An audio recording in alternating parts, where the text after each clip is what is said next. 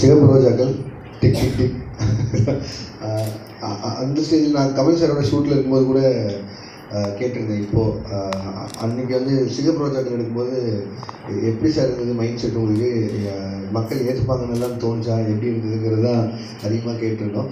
அப்போது சார் வந்து என்ன சொன்னார்னா இல்லை நான் வந்து பாரதி ராஜா சார் அவர் தான் அவரோட இதில் தான் நான் ஃபுல்லாக நம்பி போயிட்டேன். ஏன்னா அவருக்கு வந்து அப்போ நடிக்கணுங்கிற ஆர்வம் தான் ஜாஸ்தியாக இருந்தது. ஸோ எப்படி ஏற்றுப்பாங்க என்னங்கிறத தாண்டி அந்த புது முயற்சியை வந்து உள்ளே எப்படியாவது போயிடணுங்கிறது தான் ஆர்வமாக இருக்குன்னு சொன்னார். அண்ட் அதே தான் நான் டிக் டிக் டிக்னும் கேட்டேன். எனக்கு தெரிஞ்சு முப்பத்தஞ்சு வருஷத்துக்கு முன்னாடி டிக் டிக் டிக்ங்கிறது வந்து எவ்வளோ சாத்தியம்னே தெரியல. எனக்கு இன்றைக்கி எடுத்துருந்தா அந்த படம் மிகப்பெரிய ஹிட்டாக இருக்கும்னு நினைக்கிறேன். ஏன்னா அதில் அவ்வளோ தூரம் ஒரு அட்வென்ச்சர் ஆகட்டும் அண்ட் அந்த ஸ்மக்லிங்கில் அன்னைக்கு இருந்த பாயிண்டில் பண்ண டீட்டெயிலிங் எல்லாம் ரொம்ப பெருசாக இருந்தது.